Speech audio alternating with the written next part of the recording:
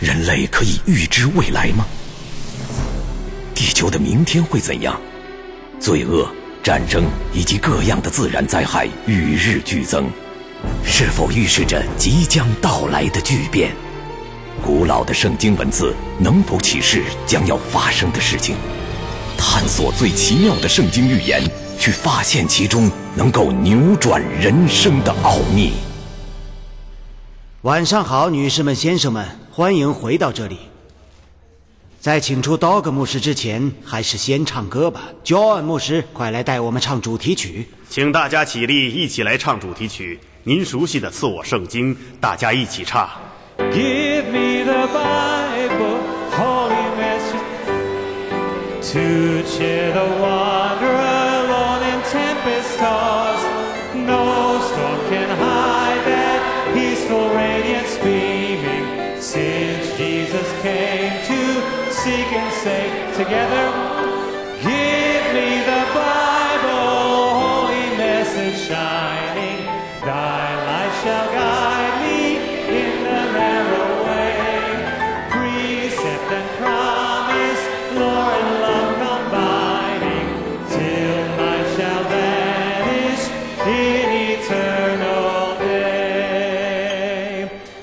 继续站立，请罗恩·怀特海德牧师带导，把我们带到主的施恩宝座前。让我们一起低头闭目。天父上帝，我们总愿意与您交谈，我们总愿意与您相聚。主啊，也请您与我们同在。今晚，当我们从世界各地聚集到一起，来寻求更多您的知识，请求主您到我们中间，赐下理解的能力，以帮助我们做好预备，直到您再来。愿所有人都可以说：“阿门，阿门。”大家请坐。谢谢罗恩牧师。罗恩牧师是安德鲁大学负责宗教事务的校长助理，很高兴他今晚能与乐队一同光临。今天上午大家要是在场就好了。Dog 牧师讲了马可福音第二章一个奇妙的故事：耶稣医好瘫痪的病人。上帝赐给咱们的讲道人特别的能力，让他从这个古老的故事中挖掘出如此丰富的宝贵教训。相信在场的听众都受益匪浅。他已经回到了这里，好，马上开始回答观众的提问，请以热烈的掌声欢迎 Dog 牧师，最奇妙的圣经预言主讲人。谢谢，晚上好，欢迎回来，Dog 牧师。谢谢你的邀请。这个问题是刚交上来的，准备，这是有人刚刚问的。为什么 Dog 牧师，你的脸？为什么你的脸上多了一层前所未有的光彩？呃，我以为他会说为什么我的脸没印在美元上，真没想到他会问这个。我猜他这么讲是为了给我机会，让我介绍一下巴切勒夫人。呃，你在哪儿？哦，在那儿。凯伦，上来吧，亲爱的，让大家他见见你来了。，女士们、先生们，热烈欢迎凯伦·巴切勒。非常感谢凯伦的到来，他十年前就陪我来过这里。我们的两个最小的孩子也来了，现在应该在儿童班。我们让他俩穿戴整齐来听爸爸讲道，被拒绝了。明天，好，明天尽量明天或者后天大家会见到他们。谢谢，亲爱的，很高兴你在这儿。欢迎凯伦，欢迎你的到来，非常感谢我很喜欢这个名字，哦庆祝一下，咱俩都很荣幸娶了叫凯伦的妻子。圣经里也有这个名字哈利路亚，凯伦的名字在圣经里，是啊，不知道吗？不知道约伯的女儿们有一个叫凯伦哈普，凯伦哈普。查一查约伯记。我要在家里用这个名字了，我刀很喜欢哥也在圣经里，Dog 在圣经里。道和格，哦，是啊，没道错。和格。我读过你的故事，你在一个奇妙的预言中出现过。没错。好了，开始吧。我再回想 Dog 牧师讲到的内容，他用了许多恰当的经文，证明我们直到耶稣再临的时候才会去天堂。但是耶稣本人却对与他同定十字架的一个人，那个强盗说：“路加福音二十三章四十三节，耶稣说：‘今日你要同我在乐园里了。我说的是挪威版经文的意思，这是读挪威文圣经的朋友从挪威发来的电子邮件。如果罪人要等到耶稣再临的时候才会复活，耶稣又怎能在那天就和他一同在天堂呢？问得不错。有许多人一想到何时升天的次序，就想到路加福音二十三章，耶稣对强盗，很可能是右边的强盗说：“我实在告诉你，逗号，今日你要同我在乐园里了。”解释这节经文其实很简单，大家要知道，希腊原文的圣经本来没有标点，而标点符号放在不同的位置，会使含义大相径庭。经文本身的意义当然是上帝漠视的，但翻译者按个人理解，把原文翻译为另一种语言时，在那里加了个逗号，听起来像人死后立刻去天堂，那正是中古黑暗时期的教义。其实应译成：我实在告诉你，今天，逗号，你要同我在乐园里了。意思是今天我告诉你，你要同我在乐园里了。道格牧师，你怎么知道？当耶稣在周日清晨从死里复活后，玛利亚想抱住他的脚，他却说：“不要抱住我。”雅各王版是“不要摸我”，但应译为“不要抱住我”，就是说不要抱住我不放，因为我还没有升上去见我的父。如果耶稣周五下午已经死去，并与强盗同在天堂，周日早晨他又怎能说自己还没升上去见天父呢？我听过一个故事，以前没有电话或电子邮件，用电报。有位非常富有的纽约商人，他的妻子正在巴黎购物。妻子给他发了份电报，说：“我看中一款貂皮或狐皮大衣，很想买下来，价格是两千美金。”他很快回了电报，电文是不太贵，于是他买了。也许妻子是故意这样理解的吧，无从查证。妻子乘船回家，丈夫在码头等着接她，看见她穿着那件非常奢华的貂皮大衣。拥抱之后，丈夫问：“你怎么买了这件大衣？”妻子说：“你告诉我不太贵呀。”丈夫说：“我是说不太贵。”电报按字符收费，删掉逗号后，电文含义截然相反。翻译时把标点放在正确位置，才能符合原文的含义。太棒了！这是我第一次参加预言研讨班。我生长在天主教家庭，想知道怎样做才能让我们全家的救恩有保障。这个问题问得很好，真的发自肺腑。首先，也是最重要的，你要为你所爱的家人做的，就是自己扎牢根基。当你在真理里面与耶稣的关系越牢固，就越能在生活中更好的显现出来，然后就可以和家人分享了。还要为家人不住的祷告，寻求恩典和智慧，去和他们分享真理。以前我刚学到正与各位分享的这些知识的时候，便直接灌输给家人，没用任何技巧，结果把他们吓坏了。所以要先祷告。求智慧，求技巧，求基督的样式，向家人逐步展示这些知识，让他们可以消化，可以看到基督在你里面，因而也想拥有。只要你得到了主里面的喜乐，大家都想快乐，就会向你学习。为什么你总跳跃式引用经文，却不根据上下文来解释？说到上下文，我引用的各处经文并不与相关背景抵触，但因为在这样的讲座里，每个教义都要用许多经文来证明。圣经以赛亚书写道：“这里一点，那里一点，纵向贯穿，横向对应。经文与经文相比较，去以经解经，这是研读圣经的方法。至少凭两三个人的口做见证是最低要求。”所以要引用不同地方的许多处经文来讲解并支持某一个教义，就像是拼图游戏。是的，把一切都全景图。对，启示录六章，那在祭坛底下喊冤、呼求伸张正义的灵魂，他们是谁？喊冤的人是谁？圣经的启示录中写道，这些在坛下的人正在哭喊：“主啊，还要等到几时？”他们在呼求伸张公义。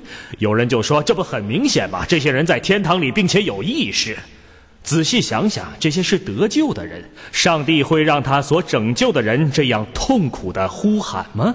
那样快乐吗？当然不。仔细读一下启示录六章的这节经文，这些人十分痛苦。事实上，这是个无罪辩护的比喻，呼求主公义的审判。还有个例子，《创世纪》四章。该隐杀了亚伯之后，上帝说：“你兄弟的血有声音从地里向我哀告。血细胞真的会哀告吗？那只是象征，象征着呼求深渊。你似乎把所有魂游向外的经历都视为假的。那保罗或在身外怎么解释？我说的魂游向外是指自称在手术台上死过的人，不是指经历异象。”保罗、但以理、约翰都见过异象。保罗说他曾被提到第三层天，其实没说是他本人，只说我认得一个人，但多数学者相信是他本人。嗯，他们是被圣灵感动，身体并没有死，只是被感动而见异象。呃，当然不是说上帝不能与正在濒临死亡的人讲话，我相信他能。人与上帝交流可以通过梦境，不是非得经历死亡。绝不是说我们的梦会成为圣经真理去左右教义，但上帝可能会借梦境提醒你用你的母语。刚开始学圣经，我还住在山洞，耶稣再临的信息让我十分激动。我做了个梦，梦到耶稣驾云降临，开着一辆碰碰车。大家想想就会明白，这梦只是我自己年轻时才会做的，因为当时总觉得最幸福的事情就是在嘉年华开着碰碰车尽情狂欢，这是我当时最大的快乐。我梦见耶稣开着碰碰车来，这不可能是事实。我不想就此讲偏道，呃其实我已经讲了。加油吧，牧师！好了，昨晚那一刻很沉重。你讲到，你带我们深入研究了圣经预言，这是个关于昨晚那课的问题。啊，有人可能昨晚没听到。如果教皇权是敌基督，教皇本人认识到这一点没有？他知道自己手中的权力会导致世界末日吗？继续研究这些课题，会发现预言告诉我们，这个敌基督权势在末日事件中扮演至关重要的角色。就个人观点，我不认为天主教的主要领导人会意识到这些事情。他们中许多人非常真诚，怀着美好的宗旨。查看问题时，我和德怀特牧师在讨论。我们相信天国里会有一些罗马主教和许多天主教的信徒。我们讲的是从圣经而来的一种教义体系，正如旧约中北国也有许多上帝的子民，很多北以色列。这人都是上帝的子民，以利亚和以利沙都来自北国。一会儿就要讲到这位先知，只是众百姓作为国家已随从异教拜偶像了。中古黑暗时期也是这样。谢谢牧师，我们明晚继续。谢谢德怀特牧师。今天晚上学习的主题就是以利亚归来，这也是经上最奇妙的预言之一。呃，还是先讲一个与主题相关的奇妙的小故事——约旦河的故事。嗯，我有幸去过上帝的应许之地几次，至少是应许给古时候的子民的以色列地，这对我尤为重要。我不仅是基督徒，而且还有犹太血统，这让我很激动。我坦白讲，第一次见到约旦河有些失望，因为。想象中全是伟大的历史歌曲中的恢宏画面，所以以为这条河会像亚马逊或密西西比河一样宽阔。谁知人竟能把石头扔到对岸，只是条小河，但它是圣经地图中一道最独特的风景线。从黎巴嫩山，嗯，海拔几千英尺处，高地发源，一泻千里之。海平面下一千三百英尺，约旦河中有地球海拔的最低点，它还是分隔上帝应许之地与茫茫旷野的边界线。渡过它，选民就进入了应许之地。在它的水里，乃曼将军洗了七次，大麻风病痊愈了。他还是先知以利亚行了很多神迹的地方。现在要学习今晚的第一段经文，这段奇妙的经文是旧约中最后一道预言。我们一起打开马拉基书第四章，我来读一下经文。马拉基书四章应该已经在屏幕上了。看呐，耶和华大而可畏之日未到以前，我必差遣先知以利亚到你们那里去。他必使父亲的心转向儿女，儿女的心转向父亲，免得我来咒诅遍地。看呐，我必差遣先知以利亚。这是一道非常奇妙的预言。耶稣传道之初，宗教领袖们来问他：“你是以利亚吗？”他们知道以利亚要回来，但以为是投胎转世。要想真正明白其中的含义，得先看看以利亚的一生。这位上帝最伟大的先知之一，他祷告后三年半不下雨，上帝以神奇的方式让乌鸦来喂养他。还有一次，他祷告火从天而降，烧光了他所献的祭物。当时本是晴空万里，经上记载他祷告了七次，随后暴雨骤临。另一次他祷告火从天降。烧死了来抓他的士兵，这种情形发生了两次。第三次来的军兵哀求他，于是他说：“好吧，我跟你们走。”上帝大有能力的先知使君王站立，以利亚一定会再来。是不是投胎转世？要理解以利亚归来的真正意义，还要回忆一下第一个拥有以利亚的心智和能力的人。圣经告诉我们，以利亚离开西奈山后，就去了旷野。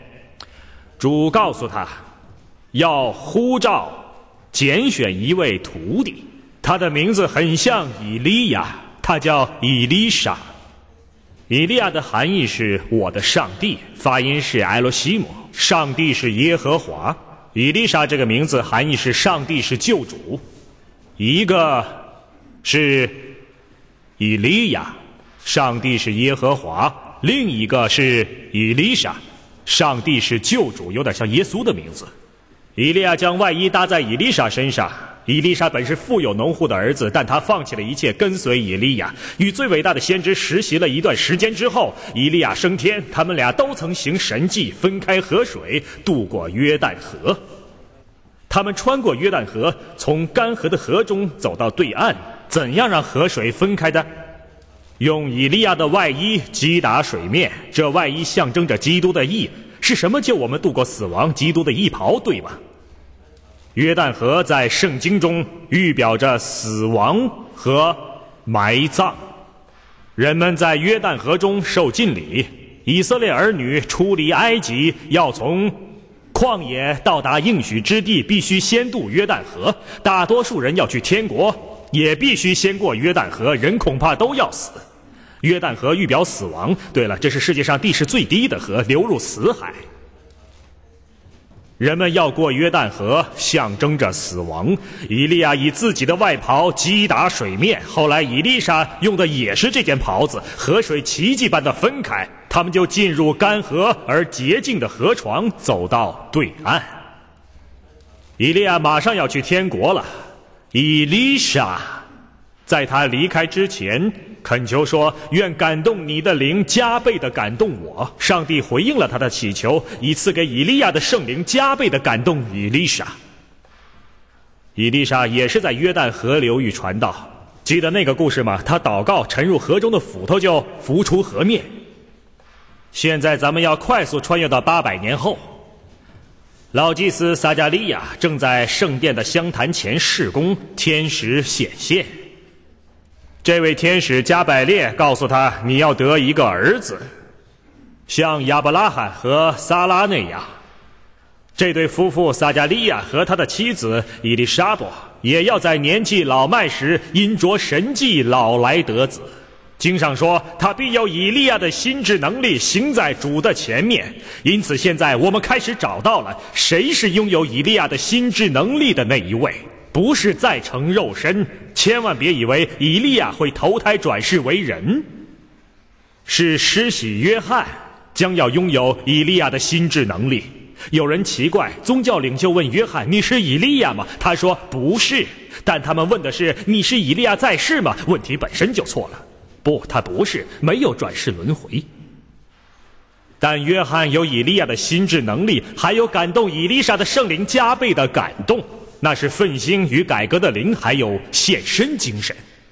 路加福音一章十七节后面接着预言道。他必叫为父的心转向儿女，叫悖逆的人转从异人的智慧，又为主预备合用的百姓。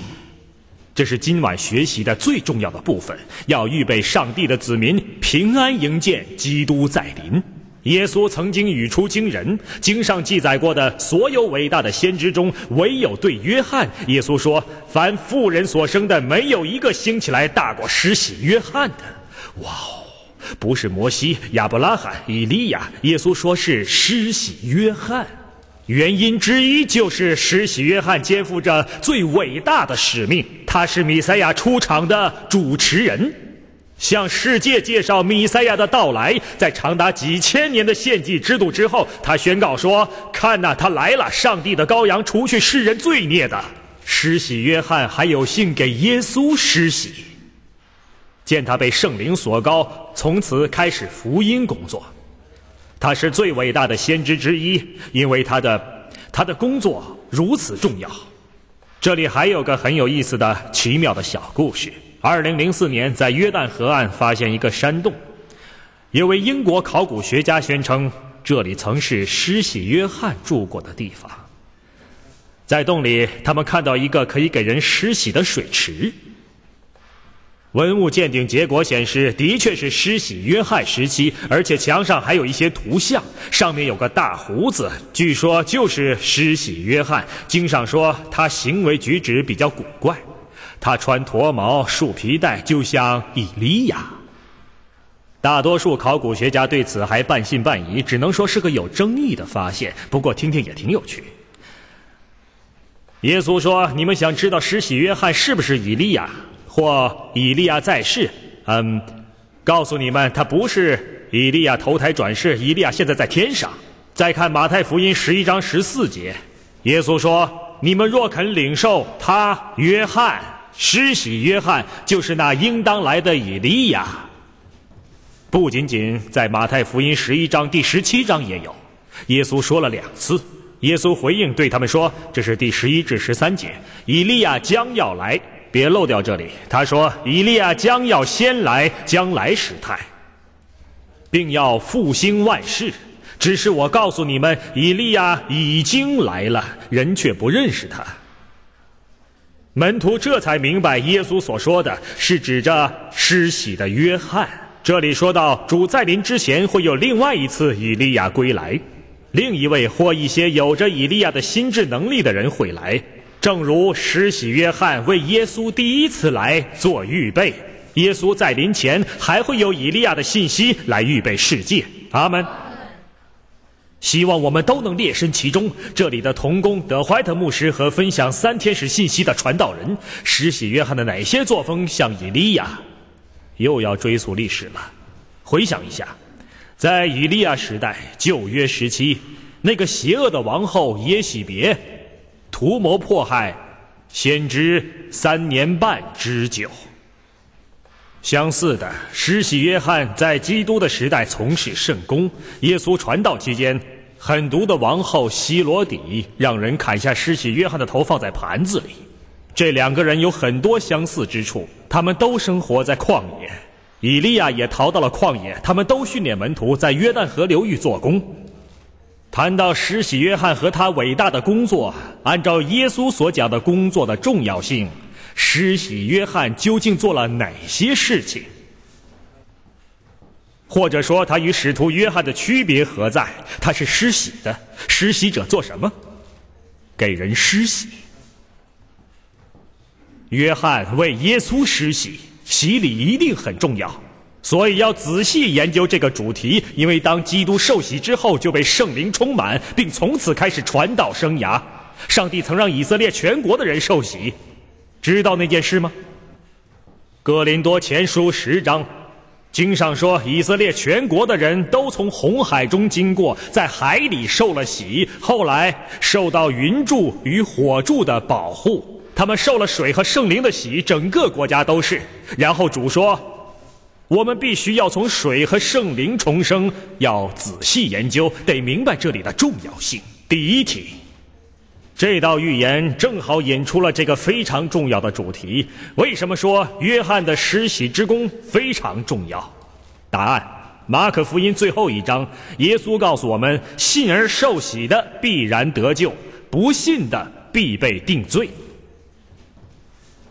注意，经上不是说没有受洗的必被定罪，因为人得救并非因受洗，得救只因信耶稣。但注意，主是怎样着重强调的：信而受洗的必然得救。他把二者放在一起。还有，约翰福音三章五节，耶稣说：“我实实在在的告诉你，人若不是从水和圣灵生的，就不能进上帝的国。”现在有人说，从水生就是指人出生前在母腹中的羊水里，所以人出生都要从水中而出，然后再从圣灵出生。不，不是这个意思。耶稣讲的是敬礼。为什么这么说？问大家一个问题：在座各位有多少人是由女人所生的呢？耶稣要是要求由母亲所生，岂不是多此一问吗？所以，当他说从水生的时候，是指人选择洗礼的仪式，圣灵的洗礼由上帝决定。我们的世界在经历了挪亚时代洪水的洗礼之后，曾经焕然一新。同样，当基督再来时，经历了火的洗礼之后，也会有一个新天新地。想要拥有崭新的身体，就必须从水和圣灵而生，像这个世界一样。耶稣在世留下的最后教训，基督徒应当特别遵行。他复活升天之前说什么？所以你们要去使万民施洗。凡我所吩咐你们的，都教训他们遵守。去教训并且施洗，这对耶稣非常重要。同样，也是我们应该效学的。基督做工前先受洗，他的子民也当如此。有人说，如果洗礼很重要，天国里有很多人没受过洗，旧约中的人怎么办？这是事实，但这的的确确是基督定下的一种仪式。我们既然生活在新约时代，就应当遵行。你可能会想，十字架上的强盗又怎么解释呢？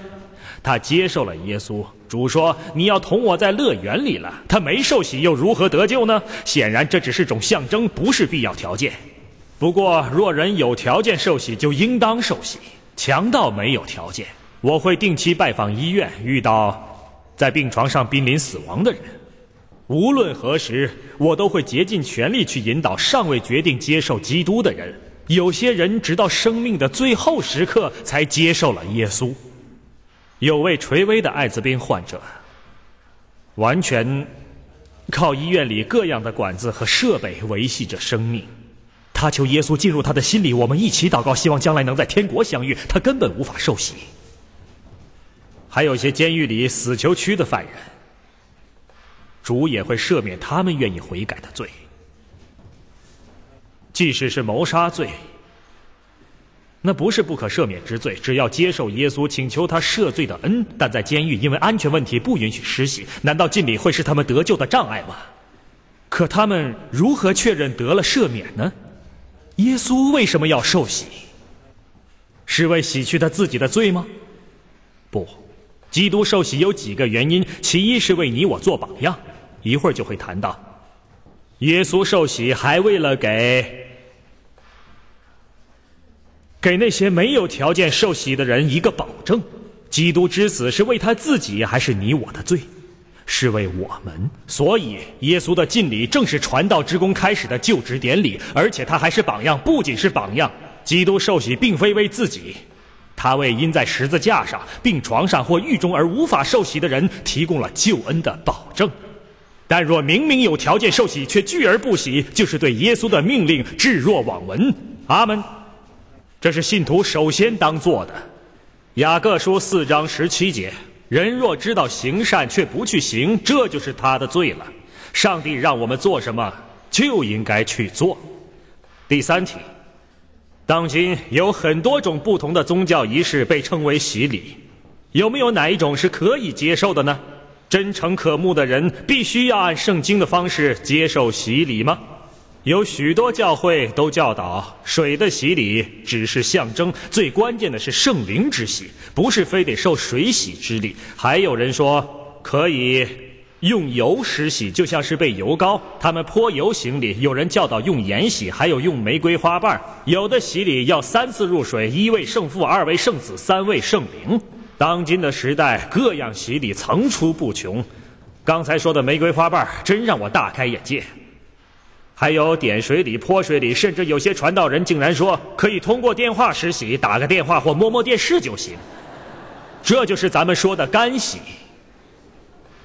这些方法有没有效，或者全有效吗？耶稣怎么说？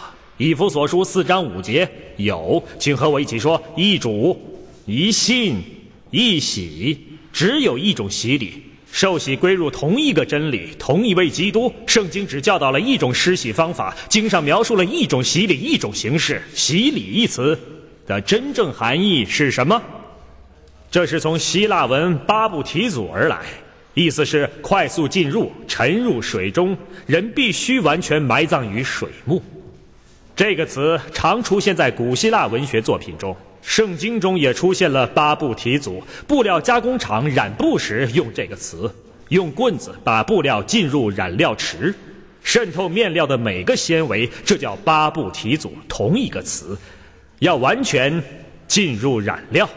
这个词的含义没任何争议。即使还不清楚，作为基督徒或耶稣的追随者，只要按耶稣所做的去做，就永远安全。耶稣是怎么做的？他怎么受洗的？这是下一个问题。只要跟着他的脚踪，就不会错。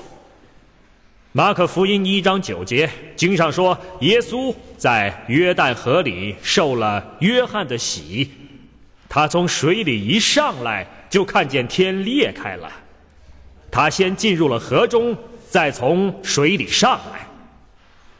还有，读下马太福音三章一节，那时有施洗的约翰出来。在犹太的旷野传道，那时耶路撒冷和犹太全地，并约旦河一带地方的人都出去到约翰那里，承认他们的罪，在约旦河里受他的洗。如果点水或泼水就行了，耶稣还需要到河里吗？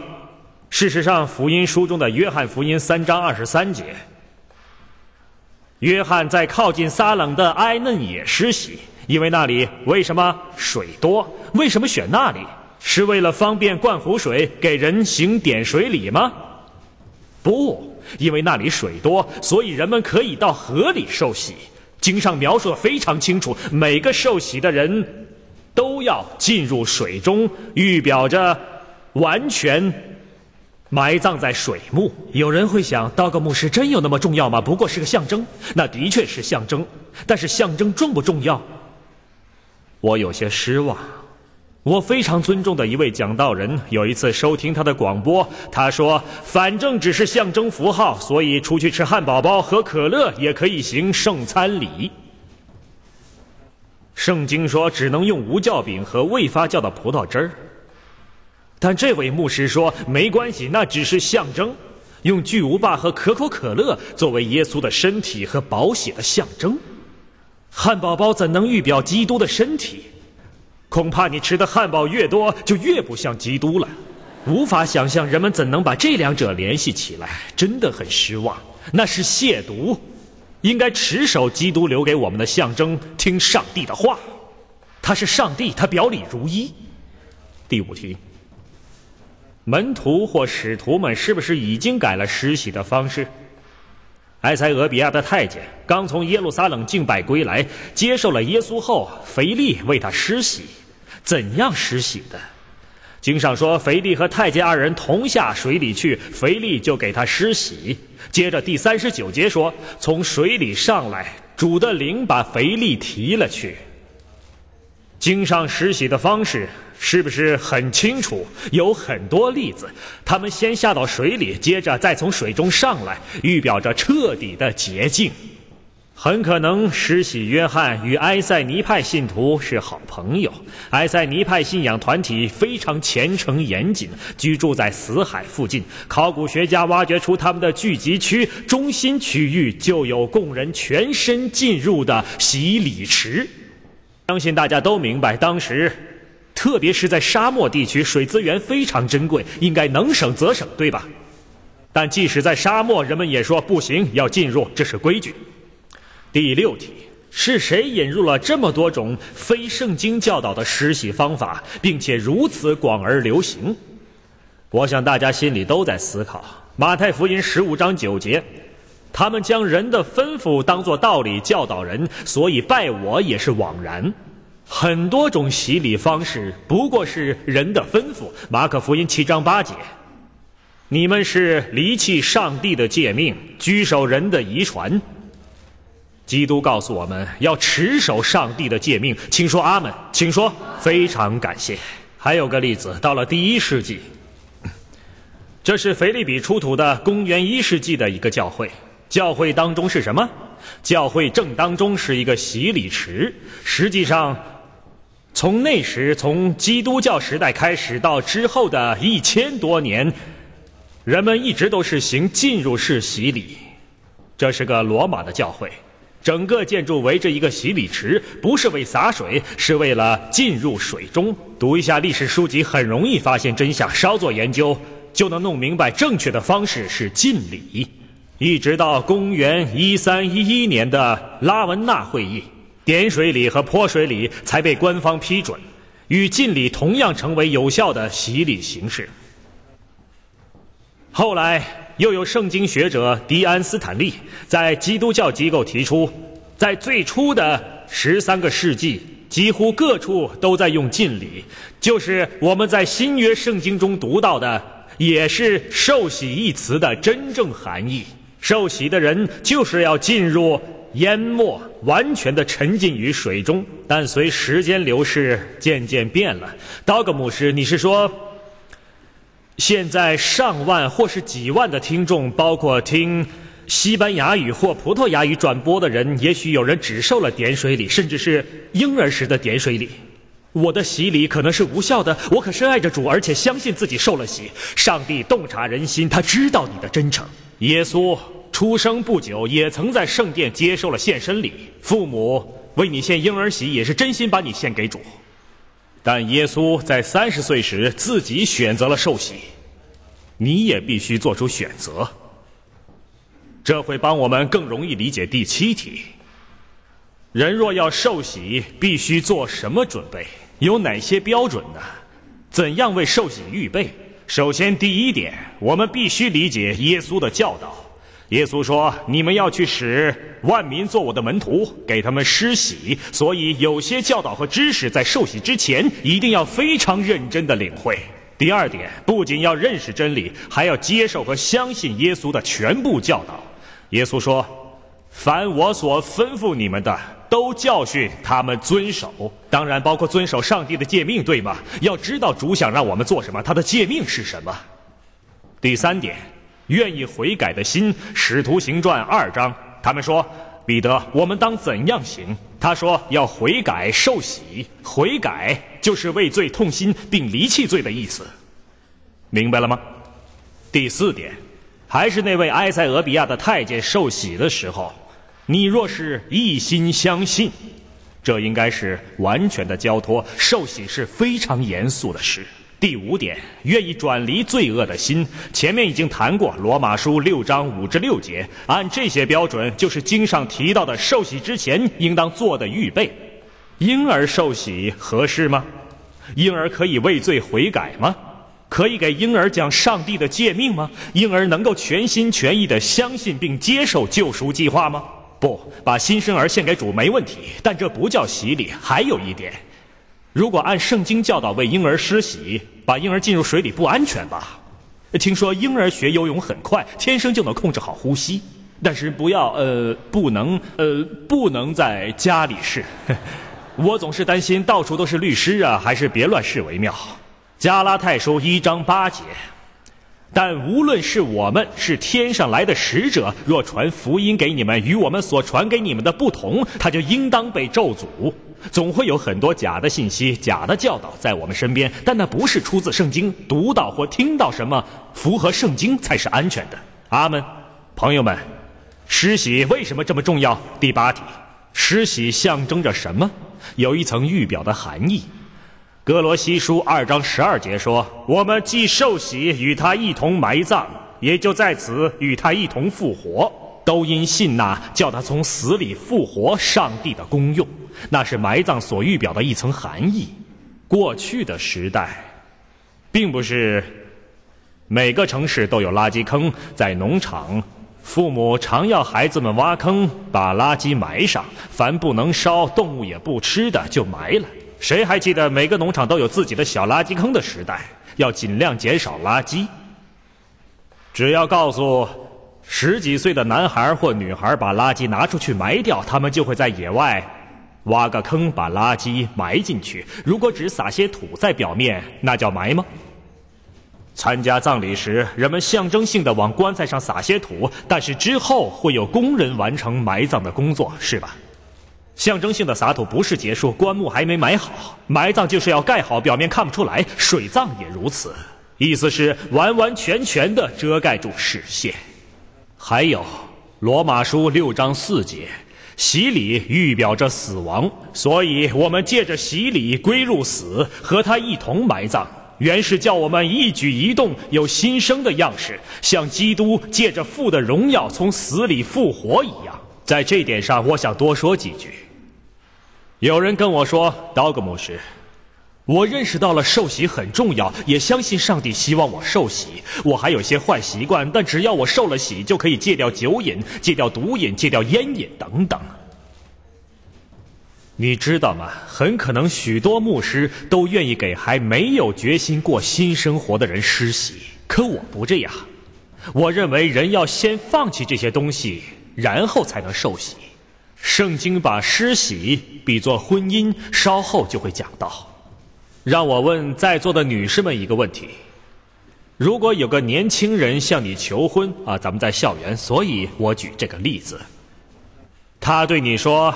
请嫁给我吧，但我要在办完婚礼之后才会停止和其他女生约会。你们有谁会接受这样的求婚？有人吗？你恐怕会说不不不，除非你停止与其他人约会，否则我不会考虑嫁给你。大家赞同这种回答吗？受洗代表的是你从魔鬼那里转回，从罪里被释放出来，要过全新的生活。洗礼并不能帮人戒烟或戒酒，牧师提前施洗其实是伤害，嗯，大家的心意本是好的，或者他们相信受洗的水里有什么特别的能力，能帮助受洗者胜过恶习。不，受洗之前要先胜过恶习。人们到施洗约翰面前要求受洗，他说：“你们要结出果子来，与悔改的心相称，悔改了再受洗。”悔改意味着生命的彻底变革。约翰给人们提供了许多细节，要先有得胜的过程。继续往后看，《罗马书》六章五节，洗礼预表着死亡、埋葬，还有赞美上帝。不仅是埋葬，还有复活。你是个新生命，正如婴儿离开水开始第一次呼吸，受洗也像出生的过程，是一种重生。当人出离水面。开始呼吸，预表着新生命的开始，预表复活。你重新被造，一切旧罪已葬在水中。这是个美好的仪式，但这仅仅是是一个仪式。我去以色列时，从约旦河装了些水带回来，那是二十年前了，至今还剩着半瓶。我曾在新墨西哥州特别行政保留区的一个教会当牧师，那里的老朋友们亚埃塔他们在纳瓦霍族领地。一次。我把一些约旦河水倒进受洗池，突然间大家都想受洗了。然后好多人找我，我当时的想法挺天真，能在耶稣受过洗的水里受洗也不错嘛。可人们想得更远，一直嚷给我点儿，把水倒在手里，再抹到脸上。不不不不不不不，这只是水，H2O，甚至可能不太干净。约旦河不是净水河，是条泥河。洗礼预表着死亡、埋葬还有复活。我们若在他死的形状上与他联合，也要在他复活的形状上与他联合，因为知道我们的旧人和他同定十字架，要在受洗之前把旧我钉死在十字架上，放弃旧的本性，再也不在罪中生活。刚开始学到这些真理的时候，牧师在做我的工作，我还在吸烟，那是个很难改的恶习。放弃毒品和戒酒我都做到了，可戒烟有些困难。但我想先受洗，牧师说不行，刀哥弟兄，他说你必须先戒烟才行。小女孩瑞奇和牧师在我的小皮卡车里，烟盒就在仪表盘下面。我看着牧师说：“上帝知道我的心，我爱主，不是说入口的不能污秽人吗？”我跟牧师争辩的时候，小瑞奇把烟盒拿起来摇着玩，我没看见烟一根根掉出来。牧师说他在看着你做什么，不为别的，为了孩子们也该开始新生活。我终于认错了。牧师说受洗代表新生，上帝不希望他的新生儿吸烟。大家设想一下。你见到一群人，他们说赞美主，我今天受洗了。这个样子怎么能够代表耶稣呢？我们是婴儿，在基督里是新的生命，纯洁无瑕。按我的理解，婴儿周围的羊水会不断的净化，这预表着新生。加拉太书三章二十七节。你们受洗归入基督的，都是披戴基督了，就像是穿上基督的衣袍，又像是一场婚礼结婚仪式。仪式很重要，但新人不是因婚礼而相爱。女士们，我喜欢问女士，因为她们总是不加思索就回答；先生们还得想想。如果有位男士对你说：“只要你嫁给我，我就一定会爱上你。”你会接受吗？是否该要求他先爱你再说？仪式是对公众宣告彼此已经确认了的承诺，是这样吧？施洗的水里并没有让人心想事成的魔力，但仪式也重要。仪式上也的确有事情发生，就是在天国注册。可一定要承诺在先，仪式是在承诺之后。第九题。是否要在人确定不会在犯罪之后才能受洗呢？这是又一个极端。有人一再推迟受洗。道个牧师，我怕受洗后再做错事，等我毫无瑕疵再说吧。你会等到完完全全了解恋人后才结婚吗？或等到你认为对方完美了？有谁是在婚后才对伴侣更加了解的？我想凯伦应该举手，举得高高的。刚结婚时，我写了首诗给他，我不会在这背的。当时想，我能向他承诺什么？只能对他保证，我不会乏味。这就是我写的诗，而且我遵守了诺言。格林多后书八章十二节，因为人若有愿做的心，必蒙悦纳，乃是照他所有的，并不是照他所无的。只要你愿意放弃生命中一切的羁绊，就可以来到主面前。不是非得等到完全无罪了才能受洗，但要放弃一切成瘾行为。若有烟瘾、酒瘾或毒瘾这类问题，或其他不正当的行为，就要把这些都抛开。这样，你是在往前走，前面有一条小径，你可以与基督相伴同行。也许撒旦会在路上扔香蕉皮，不要灰心，摔倒了爬起来继续走。阿门。既不能等自我感觉完美了才受洗。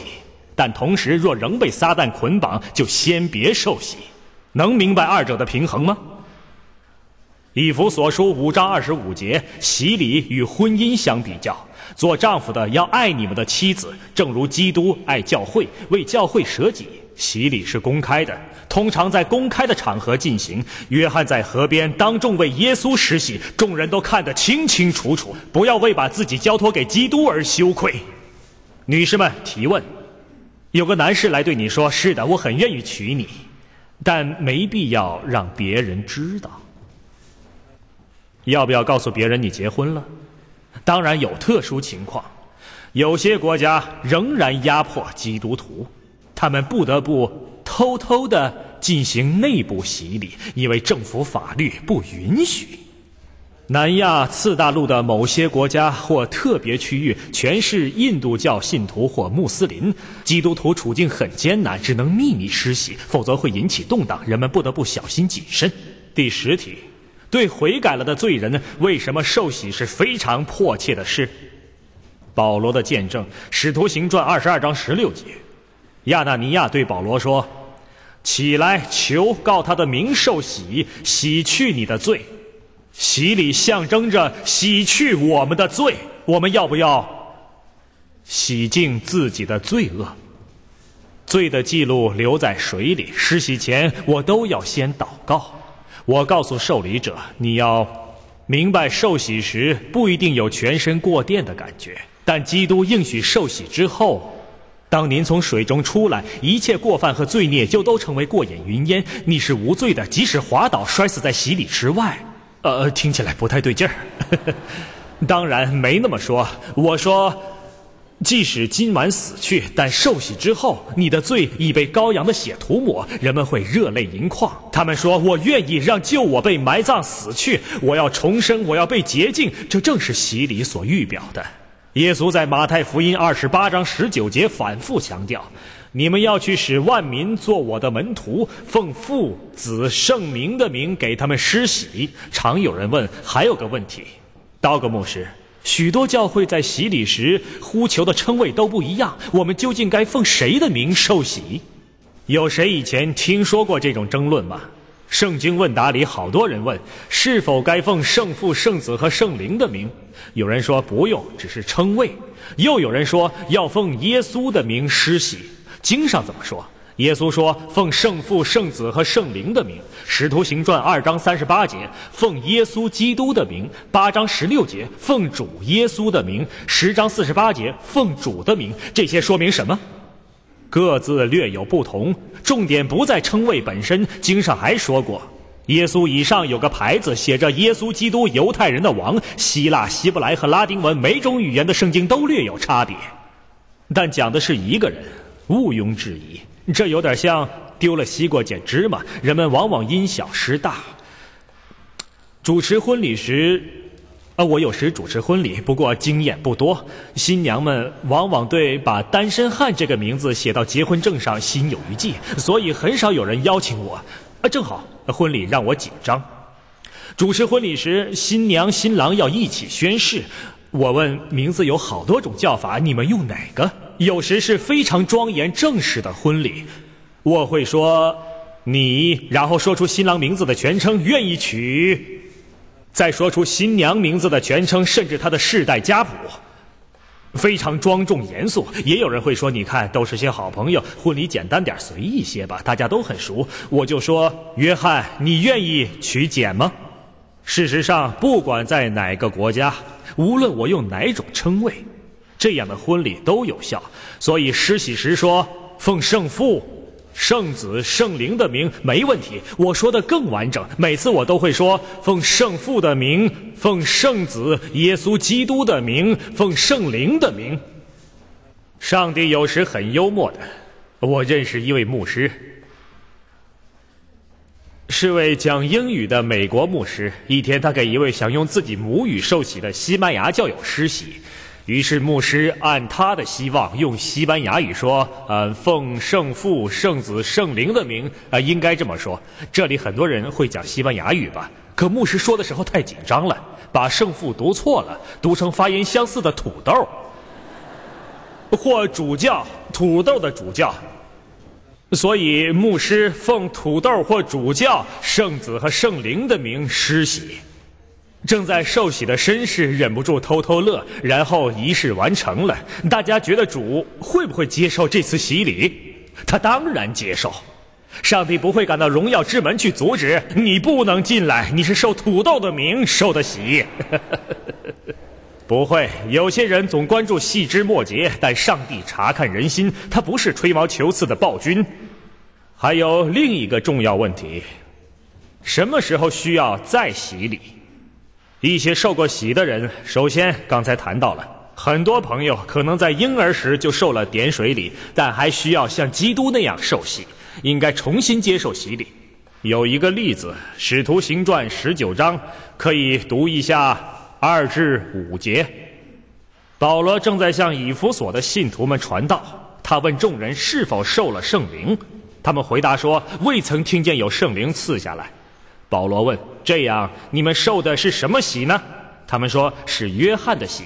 保罗说：“约翰所行的是悔改的洗，告诉百姓当信呢，在他以后要来的就是主耶稣。”注意，他们听见这话，就奉主耶稣的名受洗。这些人先受了施洗约翰的洗，而且显然，基督传道之前，约翰为人施的也是敬礼。随后他们离开约翰，回到以弗所，没机会听基督传道、牺牲及种种事迹，很多事他们都不知道，只是按所学的受了约翰的洗。再受洗的原因之一是没按圣经的方式受洗，点水、泼水或玫瑰花瓣都不行，需要重新受洗。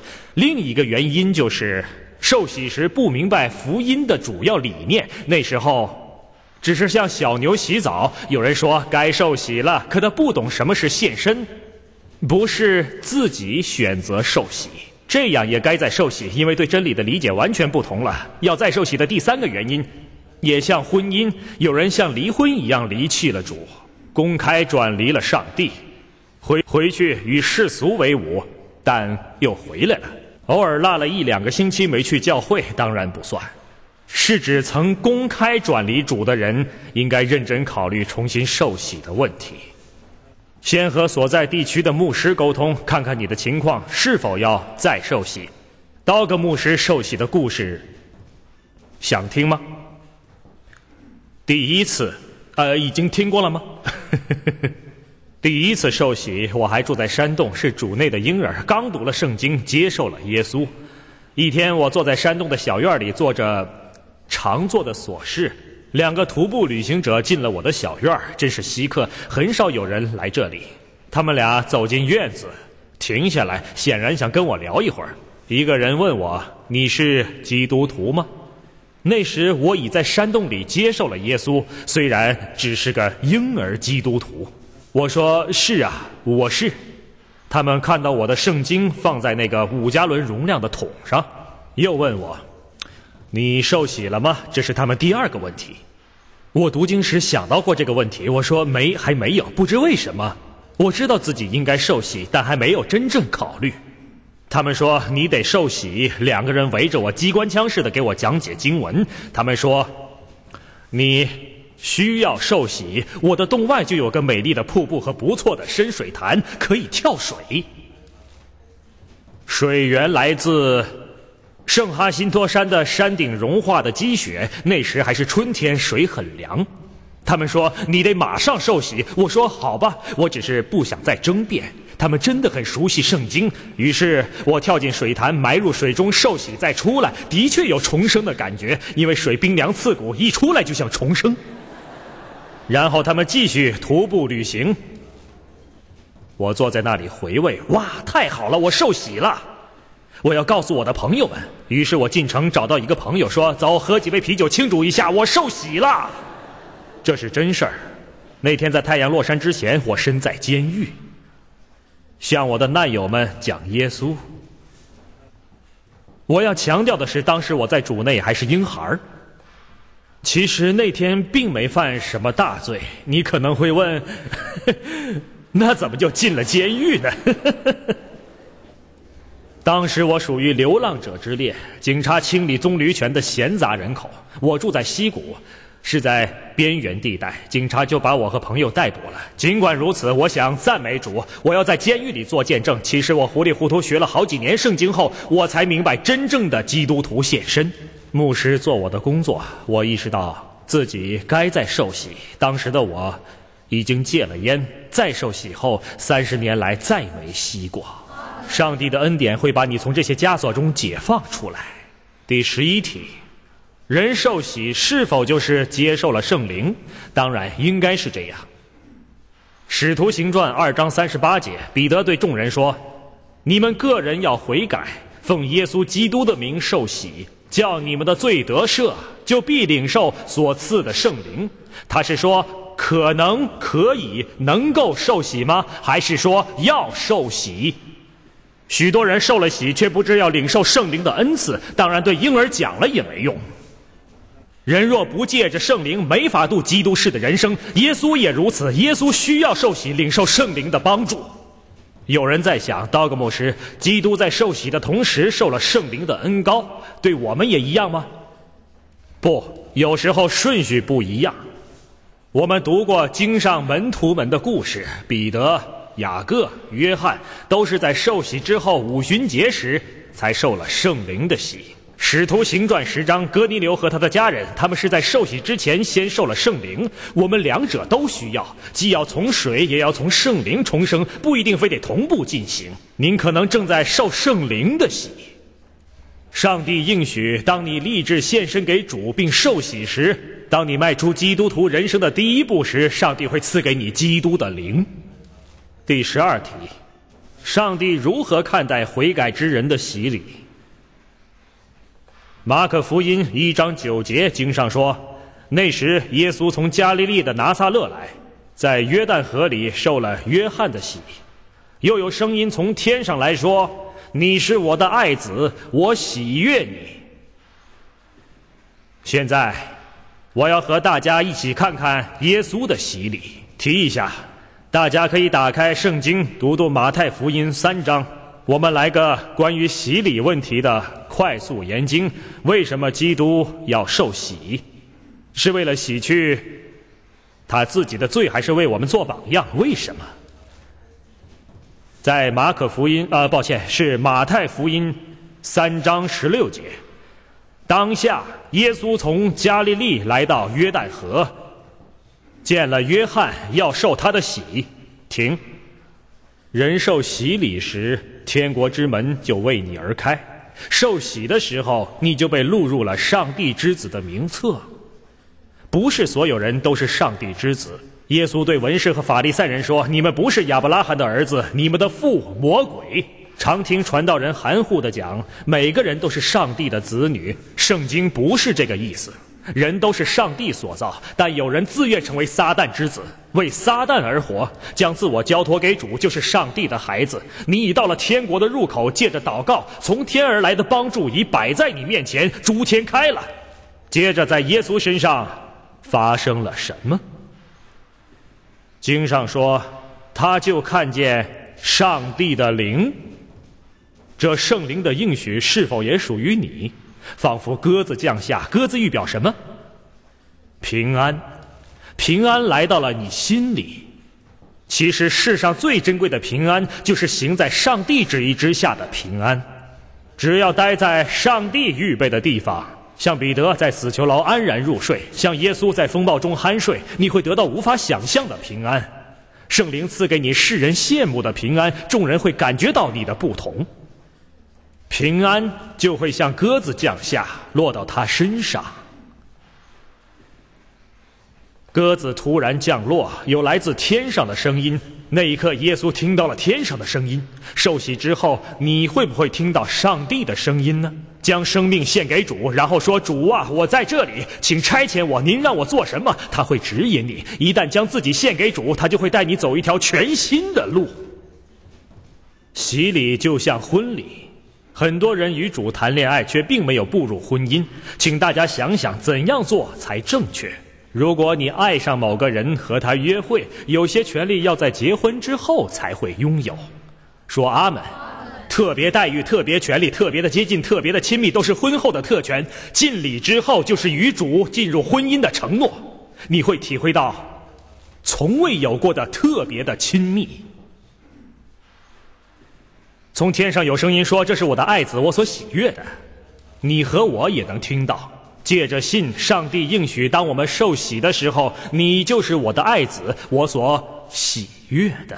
你走进了上帝之子的大家庭。他会说：“我很高兴，不仅是高兴，是非常的高兴。”有谁不想得到自己父母的赞扬呢？有谁不想得到天赋上帝的认可呢？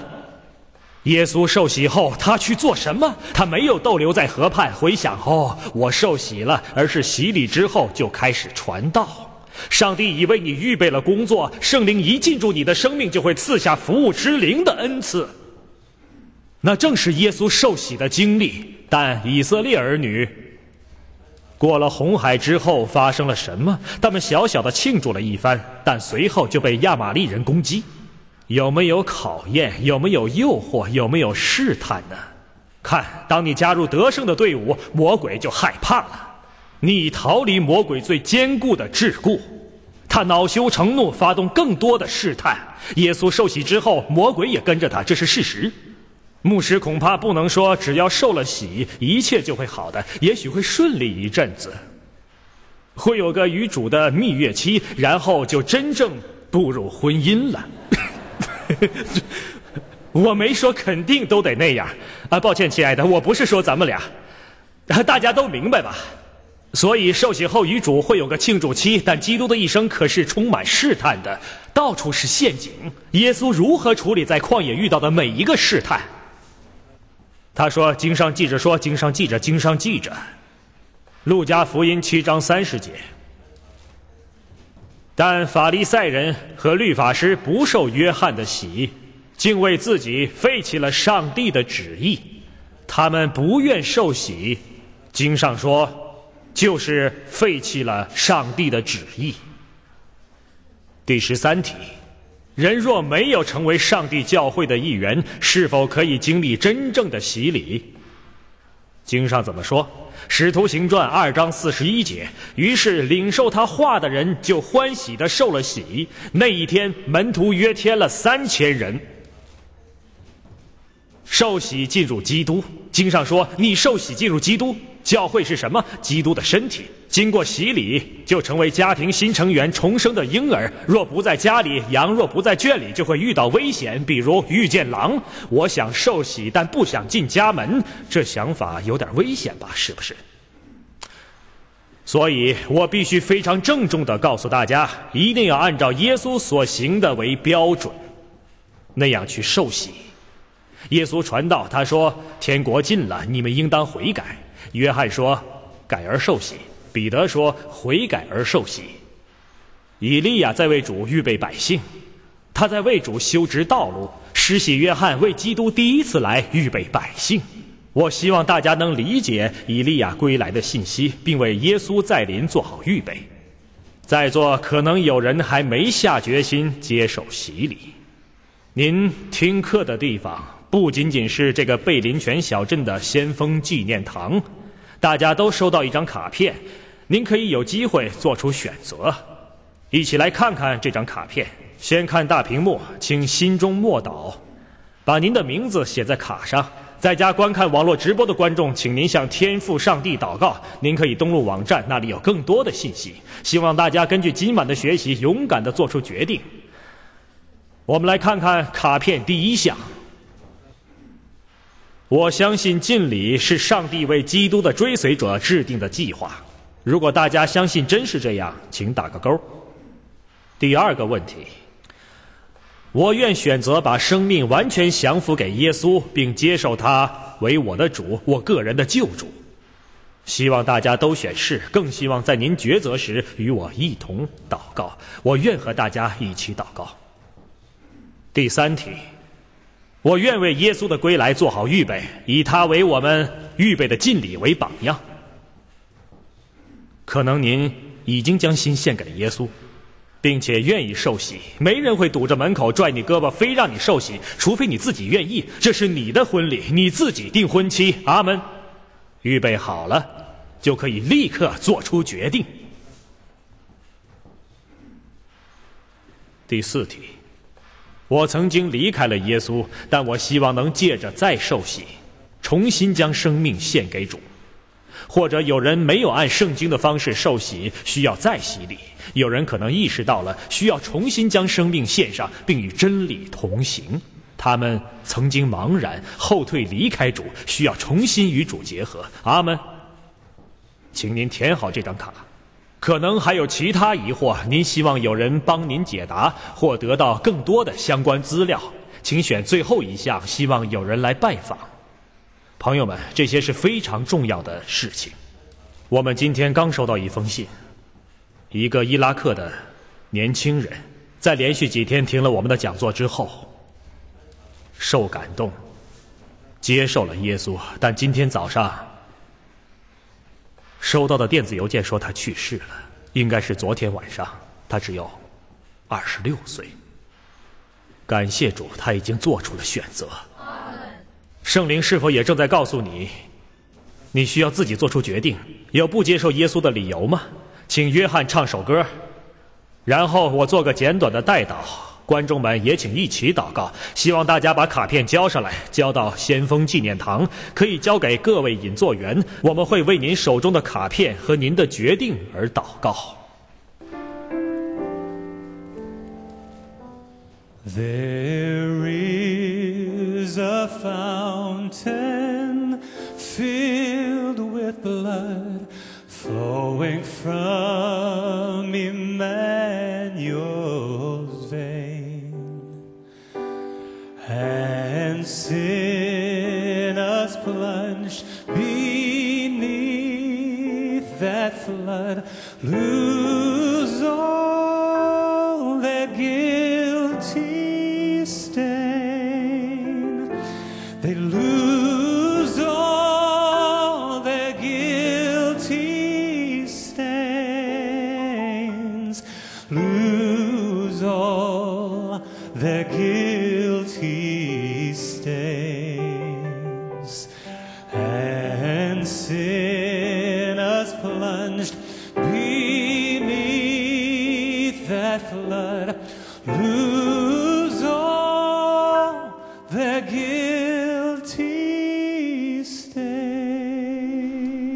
阿门。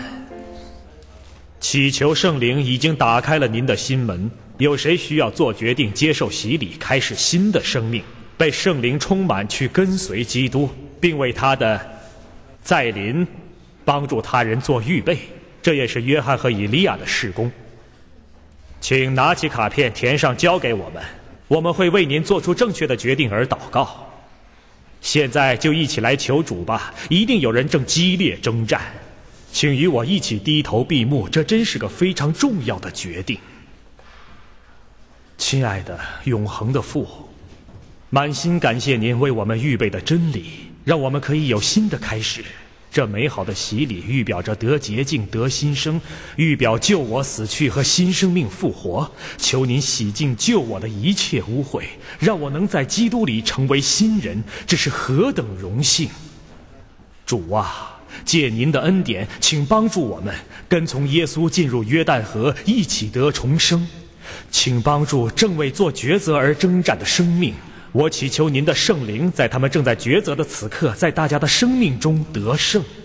请与每个人同在，并继续祝福这次讲座，帮我们为耶稣再临做好预备。